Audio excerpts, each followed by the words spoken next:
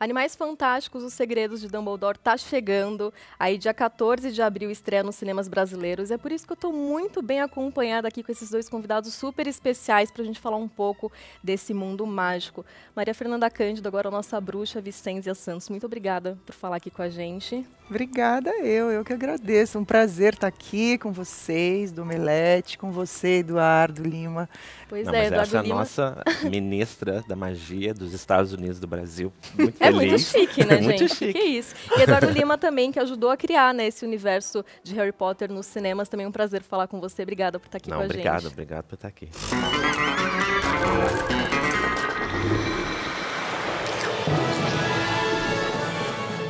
Vocês são o Brasil em Harry Potter, assim. Qual que é o peso disso para vocês, a importância e como vocês veem a recepção dos fãs com isso? Eu acho que a Maria é nova, então você vai ver como é que vai ser daqui para frente. Você vai ficar pro resto da vida parte desse e é amazing. É, é muito apaixonante. Lindo, apaixonante.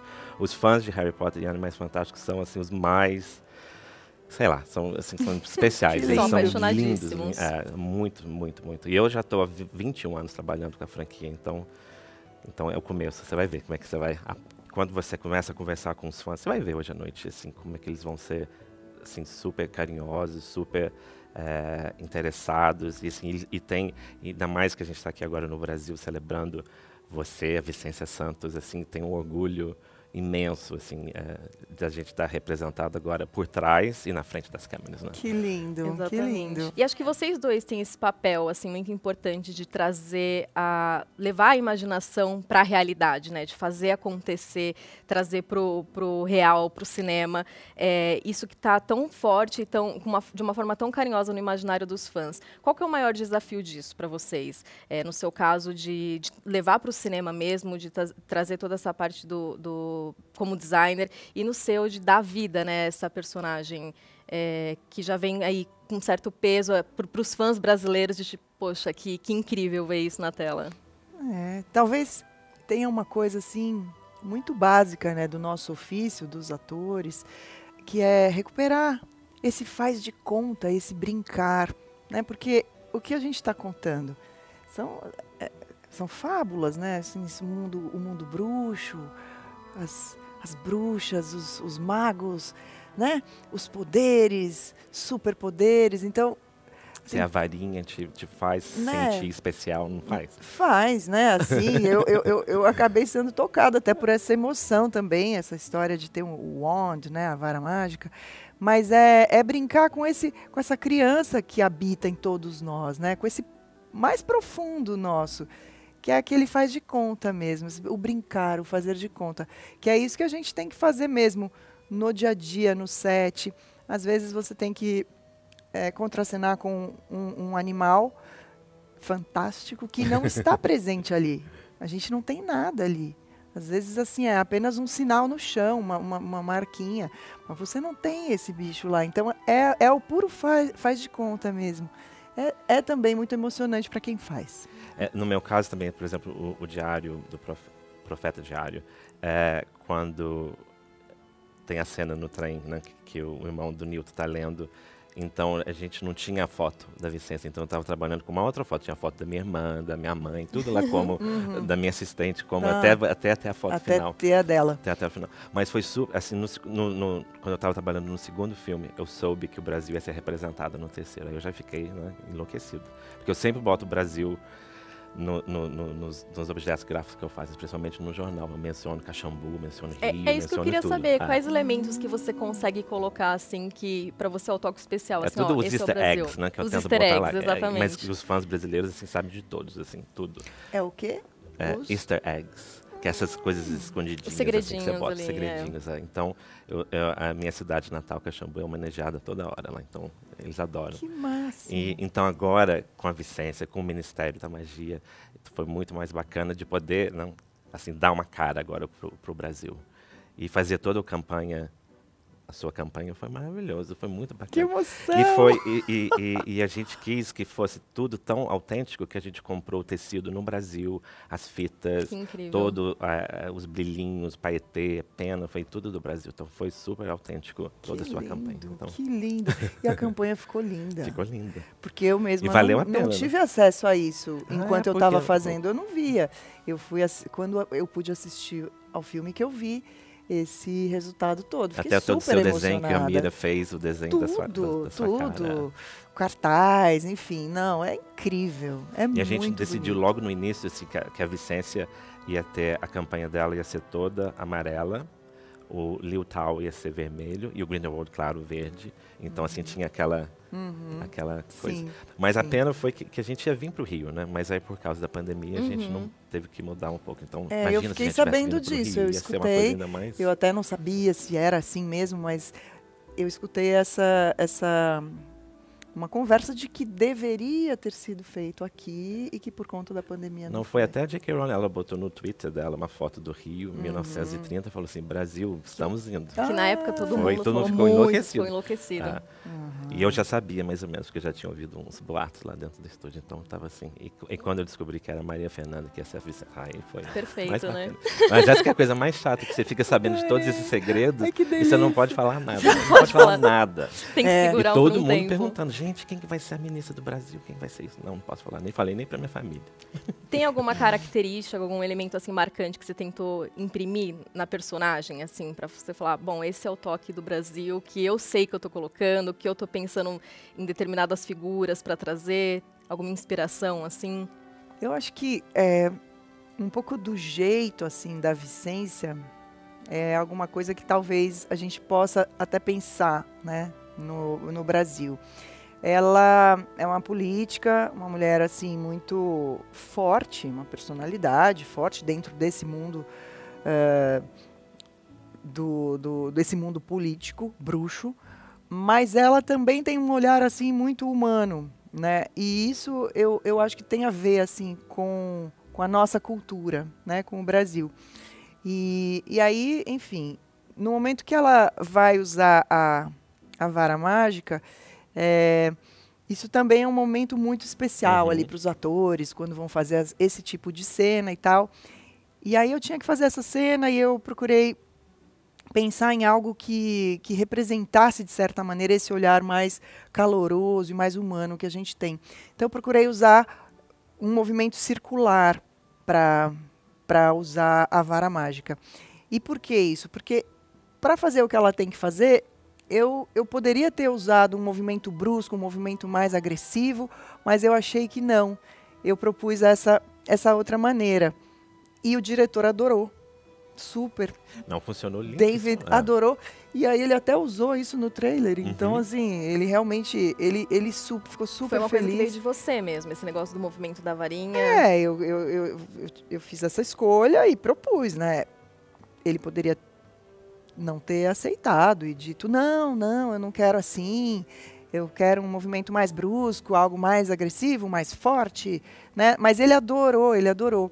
E foi usado. Mas conversando assim com outros atores, assim, até na época do Harry Potter, assim, a, a- relação do ator com a varinha que eles têm, assim, é muito íntima, é, negócio muito especial, pessoal, né? pessoal. Claro que tem pessoas que vêm te treinar como usar a varinha, mas, mas foi exatamente como você falou. Assim, você Sabe tem que, que, no, no, no caso dessa cena, essa cena foi criada, ela não existia originalmente Ah, no roteiro. E aí a gente foi filmando, filmando, filmando, e até que um dia o, o- chegou um roteiro novo, um adendo, né? Assim, olha, uma cena nova, uma cena que foi criada. E aí quando eu li, eu fiquei super feliz, assim, eu adorei. E, e era essa cena. E aí eu não tive tempo, por exemplo, de ter essa instrução, de, de fazer esse treino, de fazer essas. De coreografar um pouco isso, assim, o que normalmente aconteceria. Acontece, é, porque é. isso eu ouvi dizer que tem. No meu mas é mais caso, naquelas não. cenas né, de batalha que nem do, do, do Mads com o Jude. Que eles, Ah, aquilo é uma coreografia enorme, é. imagino que sim e tal. E aí essa cena chegou E acho que assim, no dia seguinte ou dois dias depois a gente já estava filmando, então não, não teve tempo assim para preparar nada. Então foi uma proposta minha ali e que o diretor gostou bastante. Uma coisa quase natural, digamos Não, assim. Mas aí que vem a magia. Ah, Aí que vem a exatamente. magia cara, com relacionamento. Quando você pega naquela varinha, assim, Você sente. ah. E eu achei que era algo que traduziria melhor essa nossa cultura, essa nossa brasilidade, a nossa, o nosso jeito mais humano e mais caloroso de ser. Então foi um E pouco você isso. nota muito no- na, na sua fisionomia, toda hora que você tá lá em cena, no final principalmente, quando tem aquela cena assim, Uhum. a tem a coisa assim brasileira, assim, a coisa de ser essa coisa calorosa que a gente é Gentil, com o olho. É, é. Inclusive, eu fiquei curiosa para saber como foi a sua reação quando você soube que ia fazer parte desse universo. Assim, você passou pelos testes, foi um convite direto. Como foi esse momento? Foi um teste que a minha agente europeia recebeu um pedido para que eu fizesse esse teste. Então, quando eles fizeram esse contato com ela, eh, já era bem específico para mim. Não sei como, mas foi assim. E aí me pediram para realizar esse teste eh, e tinha que ser rápido. Eu tinha assim dois dias para fazer. Eu lembro que que não, eu não tive como fazer isso em dois dias. A gente estava no auge da pandemia, não tinha como sair de casa. Aí eu pedi ajuda para o meu marido, para os meus filhos. E aí eu não fiquei muito contente com o que eu, o que eu fiz, assim. E falei, olha, não tenho ainda o teste feito. Não, mas tem que entregar até sexta-feira. Falei, mas não, ainda não tenho. Aí no final de semana eu, eu continuei trabalhando nisso e na segunda-feira ficou pronto. E aí mandamos, mandei. Aí na terça-feira, no final do dia, veio essa resposta de que então essa personagem era minha. Mas eu não sabia ainda o projeto.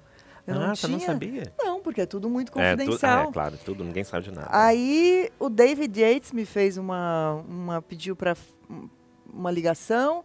Aí ele falou comigo, fizemos lá um zoom, ele me agradeceu, muito obrigada pelo seu teste. Eu, que bom, tô feliz, mas até então eu não sabia Uhum. o que era. E aí, claro, depois é, eu fiquei sabendo, porque aí entrou essa parte toda de contrato. Aí depois que você assina a confidencialidade, aí que você vai saber exatamente o que é, que projeto é. E eu fiquei super feliz, assim. E esse filme, ele faz parte um pouco da nossa história, eu digo, história da minha família, porque a gente levou os meninos para assistir, assistimos esses filmes juntos. Então, é, faz parte da nossa memória afetiva, é, né, da nossa Tem um história carinho de já, família. né? Muito grande. E os meninos ficaram, assim, encantados. 13 e 16. Não, É o momento assim deles surtarem imagina com isso, porque Filho da, não, da ministra da magia do Brasil.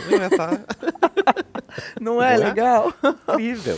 Foi. E vocês estavam falando dessa da participação do David Yates no, em tudo, né? Ele está aí há 15 anos né, na direção da franquia. O quanto vocês acham que essa proximidade dele com o mundo mágico ajuda na hora de dar esses direcionamentos, na hora de, de fazer as coisas acontecerem? Porque ele também já criou esse carinho, né? Ele já está há muito tempo nisso, fazendo parte desse universo. Esse filme agora foi o. qu- quantos filmes que ele fez do Harry Potter? Cinco, não? Mais três, oito filmes com ele. Então, assim, ele é, um- ele é um bruxo, ele eu é um diria, bruxão. eu é, diria mais que, muito mais que carinho. Eu acho que ele é talvez o ponto nevrálgico que une Ah. toda a equipe, todo o elenco. Entende? Assim, ele é o, o- o nosso ponto de, de, de ligação ali. A pessoa que realmente tem olhos de águia. Ele é um diretor que observa absolutamente tudo e qualquer mínimo detalhe. É É impressionante. impressionante. é. É, E muito ele tem um impressionante. carinho, uma, uma, uma, uma dedicação assim, ao, ao detalhe. aos é detalhes, né? impressionante, É, é muito. E impressionante. é isso, ele tem essa, essa maneira sensível, carinhosa de lidar com todo mundo. É uma pessoa muito, Muito, é. atenciosa, assim, e com esse olho fulminante, que enxerga absolutamente qualquer detalhe. E ele conhece né, o espírito desses personagens. Então, é de fato um privilégio ter David Yates dirigindo. E trabalhando com ele já há tanto tempo, a Mira, a minha sócia, a Mina, da Mina Lima, ela estudou com ele na escola de cinema. Então, eles são, Ah. são amigos antes do, do filme. Uhum. Então, quando ele foi fazer o, não, o primeiro filme, a gente ficou feliz ainda, porque ela tinha esse, eh, esse link com ela. Mas ele é uma pessoa, exatamente como a Maria falou, que ele é uma pessoa super dedicada, é, assim, educadíssima, e ele deixa você dar suas ideias. Assim, no nosso caso, no departamento de, de, de design gráfico, ele nunca vem e fala assim, eu quero assim. Ele chega e fala assim, vocês sabem como é que, que tem que ser feito. Claro que ele tem que aprovar, que ele que tem a última palavra, Mas ele mas confia, ele deixa, né? confia, nessa- tem uma confiança assim impressionante. assim. Nossa, eu até, até me emocionei com isso que você falou, porque exatamente ele escuta. Não escuta protocolarmente, ele tem uma escuta atenta e É. verdadeira. Absolutamente É. verdadeira. Ele está interessado em saber o que você tem para contribuir.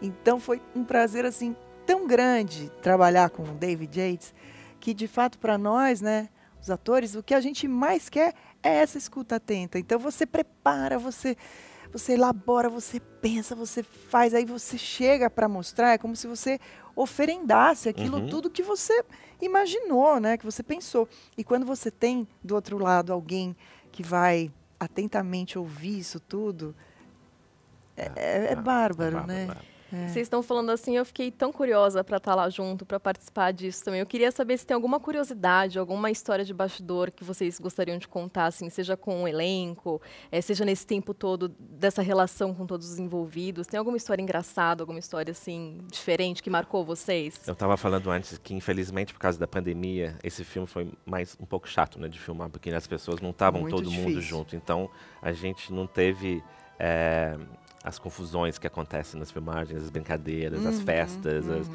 Então, mas, ma- mas ao mesmo tempo foi bacana que a gente conseguiu fazer um filme durante a pandemia. Foi, Todo foi. mundo deu, não, deu tudo que tinha para fazer o filme ficar Foi, o que ficou. É, foi mesmo. Não foi? Foi uma, uma experiência assim desafiadora, extremamente É. desafiadora para todos, né? Eu acho que assim, aí até poderia contar também uma história que no dia de fazer, no dia de filmar exatamente o dia que o Chilling, Uhum. né, tá ali comigo, é, a gente iniciou o dia e aí de repente eu fiz o primeiro take assim da cena, a cena mais importante da minha personagem. E aí o David disse assim, cut, corta. We need to evacuate the studio. A gente tem que evacuar o estúdio. Daí todo mundo começou lentamente, porque a gente é orientado para fazer dessa maneira, a sair do estúdio. Éramos 200, 300 pessoas dentro do estúdio, aquele, com aquela muita figuração, muita gente. E então foi a primeira vez e única que um caso de Covid aconteceu, e era alguém da equipe técnica. E aí a gente teve que ficar 10 dias dentro do apartamento, cada um dentro da sua casa, sem poder sair, sem poder eh, fazer nada e sendo testado todos os dias para ver se ninguém, Espalhou, né? né, se isso não tinha se espalhado. E aí o David me fez uma ligação muito carinhosa assim, Maria, eu preciso te dizer uma coisa, eu preciso te fazer um pedido. Na terça-feira, quando nós retomarmos, nós vamos começar exatamente do ponto em que nós paramos. É aquele ponto. Eu preciso que você esteja concentrada da mesma maneira que você está. Trazer toda aquela emoção de Falei, volta. David, eu estou com você. Conte comigo. Então eu passei esses 10 dias Parada, em suspensão, estado de suspensão. e aí, depois de 10 dias, cheguei no estúdio, caracterizei, maquiei, entrei às 8 horas da manhã no estúdio. Action! E continuamos de onde tínhamos parado. Então, são coisas assim desafiadoras. Então, acho que as histórias que a gente vai ter para contar serão sempre relacionadas a essas coisas que a gente viveu, que foi bem diferente, Foi bem diferente. talvez, dos outros filmes. É, né? para entrar no estúdio era uma operação militar, você tinha É. que fazer Imagino. teste toda hora, era, era mas assim, E é um negócio novo, tá? no geral, né? Porque assim, o mundo está vivendo isso pela Foi. primeira vez. Então, é você aprender a lidar com isso e, e- e a forma como isso afeta justamente na própria produção em si da coisa. Mas é, é interessante ouvir essas histórias também, porque a gente que fica daqui fica imaginando como foi todo esse processo, né? Como foi toda, todo esse período. E uma coisa também que me deixa muito feliz é que a sua personagem termina com um certo destaque, Os Segredos de Dumbledore. A gente pode apostar numa volta? Ah, não sei se a gente pode apostar, mas torcer a gente pode. né? Pode, já estamos torcendo, essa é a Vamos questão. torcer, né? E agora, já que a gente está falando dessa parte de imaginação também, de coisas diferentes, eu queria propor aqui um desafio para vocês. Vou fazer uma pergunta de cada vez. Por Eduardo, quais animais brasileiros você acha que se encaixam visualmente bem no mundo de animais fantásticos? Ah, o caipora, tem um monte de coisa. De, de- a gente- eu fiz um pôster para uma loja de, lá de Orlando, do, do- de Diagonale, do, do Beco Diagonal, que a gente ilustrou. Tinha um saci, tinha um caipora, tinha boto, O folclore bem folclore bem do... assim. Ia ia ser ótimo, tá vendo? Se a gente tivesse Nossa, que vindo pro Brasil, maravilhoso isso. então eu trazia todas essas. desses nossos personagens folclóricos E tem até no, no brasão que eu fiz pra, pro Ministério da Magia, a gente tem dois saguics embaixo. E tem um, Hum. um maracanã, um papagaio em cima, que tinha, tinha um significado por trás disso. Ai, que legal. Então, tá, falei bastante. Não, mas tá ótimo. Maria Fernanda, qual seria o seu, o seu animal? Assim, se tivesse que escolher um animal icônico brasileiro para representar em Animais Fantásticos, qual você pegaria? Tem vários. Tem vários, é, tem muito. Queria, eu queria só deixar meu voto pro vira-lata caramelo, tá? Um. Então, você já votaria para virar lata caramelo? Sabe o que eu pensei? Eu pensei muito no. Eu acho que a arara azul seria um, um, um- um bicho assim incrível, lindo. Imagina, gente, a arara azul é um, é um acontecimento, é uma Acontecimento, joia, né? Eu pensei também que o tamanduá, sabe, pela estranheza dele também podia ser uma coisa Ah, Diferente. assim. diferente para animais fantásticos. É, e a sucuri, né, também podia participar. Não sei qual que eu escolheria, mas eu fiquei aí pensando nesses, acho que são bichos que entrariam num, num Animais Nessa é mais Fantásticos. fantástico. Eu acho que, mas eu acho que os micos, os miquinhos, os saguis, assim, que são super. não, Mico, leão A capivara, capivara. fofa. É, eu a sempre capivara. Eu sempre brincava com a Mira que quando todo mundo quer receber a carta de Hogwarts, não, para ir para Hogwarts. Aí a gente fala de brincadeira que ela me mandou uma carta que foi entregue por uma coruja quando chegou até o Brasil. No Brasil foi entregue por um papagaio. Adorei. Então, papagaio. Papagaio, nosso papagaio, ah, as maritacas, Tucano. os tucanos. Aí, Tem muito material. é, muito, muito, É, muito. Eu, sabe? eu acho também que a, a nossa barata, as baratas, Barata, barata. seto, a barata, porque lá fora as baratas são muito, elas são Lá em Londres não pequenas, tem é, nem tem barata. Não, as baratas aqui é brasileiras aqui a gente pisam tem nas baratas de fora. baratas Não, poderosíssimas. Meu irmão mora em Manaus, entendeu? as baratas de, de, de Manaus, da Amazônia, assim, nossa, coisa desse tamanho. Uma barata enorme. Eu acho que faria o maior sucesso. Ah. É. Seria- daria um choque, assim, seria diferente. Eu ainda voto no vira-lata caramelo. Eu acho que ele Também, tem o carisma brasileiro, Ai, assim. lindo, ele não lindo, tem. Lindo. Gente, muito obrigada. Infelizmente, o nosso tempo acabou, Ah. mas eu queria agradecer muito a presença de vocês aqui e também pedir para vocês fazerem um convite ali, olhando para a câmera, para o pessoal assistir Animais Fantásticos, Os Segredos de Dumbledore. Gente, Então tá. corram para ver a Vicência Santos apresentando a gente. Corram para assistir Animais Fantásticos, Os Segredos de Dumbledore. A gente está aqui torcendo para que vocês gostem. Sim. Obrigada, gente. Ah, que legal. Adorei os papos. Adorei os, É, os- os bichos. Eu nunca tinha imaginado, eu nunca tinha pensado na barata. Agora, Ah, é porque barata aqui pra gente é normal, né? Não é assim barata lá fora. Eles não têm. Não tem, é. Em que nem- Londres, na França, isso é mais rato.